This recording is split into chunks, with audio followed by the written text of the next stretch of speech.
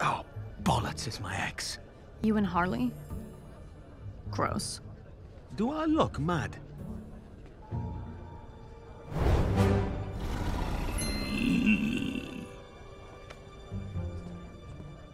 How did Amanda Waller let a lunatic like you become leader of the squad?